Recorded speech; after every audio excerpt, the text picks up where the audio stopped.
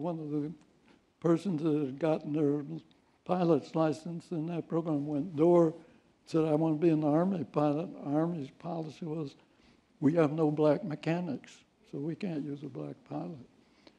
Fortunately, of the now called Tuskegee Airmen, the first really were the mechanics trained at uh, Chanute Field, Rantoul, Illinois, technical school. University is just 14 miles away, and we learned about it. And that's how I first knew about the program. But all I can say is, when I finally got called south, got that first ride, I was hooked. Okay. and love flying and to be able to get off the ground and loop, roll, and spin and come back and put your feet on the ground. That's for me. A different country. Figured it was like you went to come in, you became an Eagle Scout there, didn't you?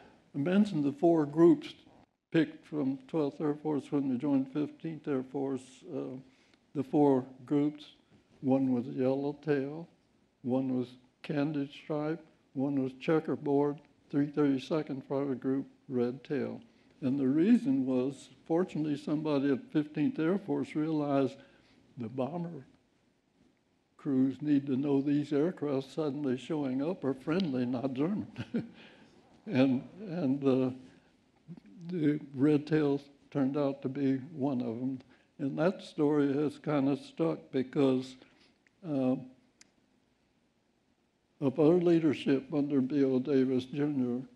Uh, some of the bomb groups, not knowing the red tails were black pilots, but said by request, if we can get the red tails, they were happy.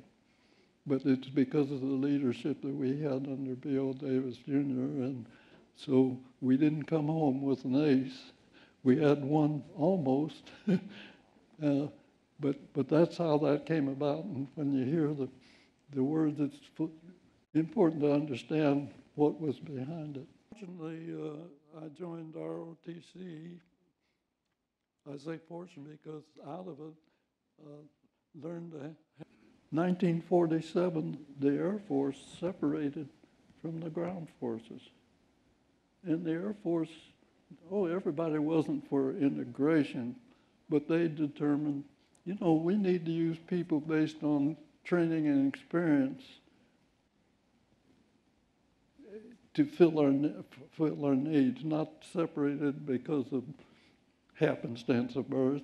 And we're not getting enough money to uh, keep a base open, Lockbourne, and not able to fully use it based on our needs because of, of trying to keep keep it segregated. So we need to integrate.